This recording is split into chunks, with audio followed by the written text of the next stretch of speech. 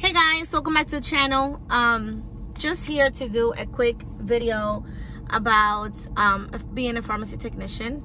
Oh my god this whole necklace. So um for those that are new welcome. Don't forget to subscribe comment if you feel like it. Um and for those that have been here and keep watching thanks for coming back. Thanks for listening. And um yeah give it a thumbs up if you like this video or if you think it's informative. So basically, I wanted to do a video to share my experience about what it's like being a pharmacy technician and what to expect in a job setting. So if you haven't been following the videos that I've made about going to school as a pharmacy technician and what to expect in the school setting, um, go ahead and find those videos in my videos. I will say I put the link, but then I may say that and then not do it. So just on my videos, there should be one um, that you can find um wasn't hard. It was easy to me but i just kind of like learning. And then my professor made it an easy peasy process because he was thorough and straight to what i needed to learn. Um the only bad thing that i have to say about that is that once you are in school because you do need to be in school in order to get certified um you know you will think they will have well with the program i had they had an internship or an externship but due to covid because it was really at the beginning of all of that um we couldn't get to it and we had we had to like simulate it. We couldn't even tour a pharmacy at all. So that left me with like literally no experience and not knowing how it was in the field once you get out there um, which is the reason why i'm making this video. So if you're thinking about becoming a pharmacy technician or thinking about or your daughter is saying or your son or somebody that you know is saying hey you know i thought about this career. What about that? Um, for one i don't recommend it. So it really depends on what you want to be doing I, for one, wanted to be in a hospital setting, but the certification I got was more likely for retail. Um, so make sure you know which certification you're going to get depending on the setting you want to go to. So my comparison or what I am going to say will be most likely for a retail pharmacy, which um, just to list a few, Kroger's, Walmart, Target, CVS, Walgreens, Rite Aid, I know I'm cracking my fingers, um, Publix,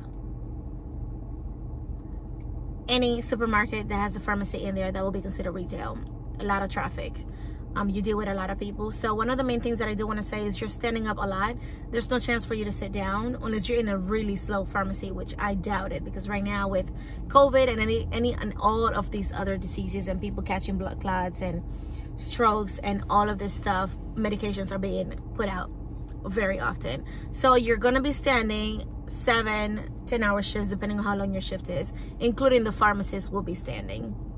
Um, there's no chairs in a pharmacy at all at all you may squat down you may walk around but at the same time most likely you're going to be standing in one spot for a long period of time because you have one customer after the next after the next after the next. There's going to be a ton of vaccinations being done. I never thought i thought all the vaccinations people get them at their pediatrician or doctor's offices. There is a ton of people who will come to the pharmacy just for vaccinations. And now with covid testing there is a ton of people I'm talking about 40, 60 COVID tests being done daily. So, and there's, like I said, one to the next, the next, to the next. There's no time to stop. You're supposed to be getting 15 minute breaks here and there. Like in any job, that's completely out the window. There, even if you wanted to, there's no chance for you to be like, you know what? I'm taking a break.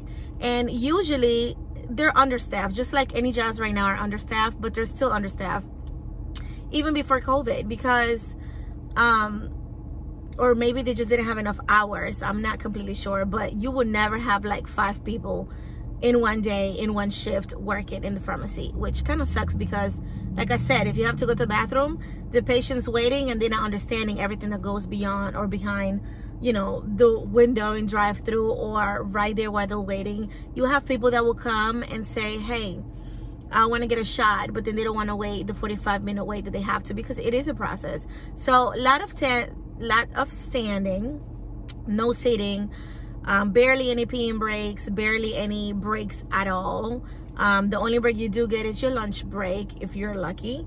And um, a lot of rude customers, tons of rude customers, people who don't understand, people who are sick, they're in pain, they just came out of surgery, people who have to go to surgery and they need their medication, doctors telling the, the patients one thing and then the patient's hearing something else insurance information not being properly or correct or given um, you will see a ton of people getting medications for their animals. That was one new thing to me, but it definitely something to think about because if you don't want to work with people, rude people at that, um, in a fast-paced industry, you should not consider doing pharmacy technician. It is fast, it is limited, um, and you are definitely always doing something. There is a lot of paperwork that comes with it too, whether you're vaccinating or doing a COVID testing, everything has to be put in the system as a prescription. So it's a lot of paperwork, data entry. Um, you have to learn the systems in whichever pharmacy you end up working, which could take a while. And most of the time, these pharmacies are not training properly because they don't have the time between prescriptions, calling doctors, calling emergency rooms. Um, also laws changes and a lot of people come with you know handwritten prescriptions and we can't do them because their doctor has to send it electronically so um, a lot of that going on if you don't like people if you don't want to talk to anybody if you don't want to deal with rude customers be standing a lot of times not being able to take a break um, some people may not get weekends off um, so if you're not flexible, do not consider this career. At this point, um, I was only doing it because I needed one class for a different thing and ended up finishing the program. I was like, oh, that's cool. That's not bad. Um, but after working, I've realized that it's really not ideal. You do get exposed with COVID and, you know, given shots because now due to COVID, a lot of technicians are being trained to give vaccinations um, so that the pharmacists have more time to verify the drugs, call the um, doctors and the physicians and the emergency rooms and verify all this information that sometimes has to get verified. So um, that's basically most of what I can tell you as a pharmacy technician, what you will be dealing with and expecting. And, you know, there's a lot of the, the people expect a lot from you without knowing what you're capable of doing. Um, then at the same time, the technicians are really limited to what they can do if the pharmacist is not there or it's on break. Um, you know, you can't sell things behind the counter. You cannot give shots. You cannot do COVID testings. People don't understand that. So definitely if you have if you love people this is the job for you. If you don't stay away from it. Um, if you don't know how to deal with rude people or people who cannot hear people who sometimes want to just talk this is also not the job for you. You have people who sometimes just don't have anything else to do and they come tell you a whole story while they're picking up the prescriptions. Um, you know there's a lot of overly explaining yourself sometimes too and letting them know what goes on and what process it is and some people may not understand. Um, a lot of 15 minutes 30 minutes an hour away. You know you have people who know how it works and they come back they drop it off they come back later.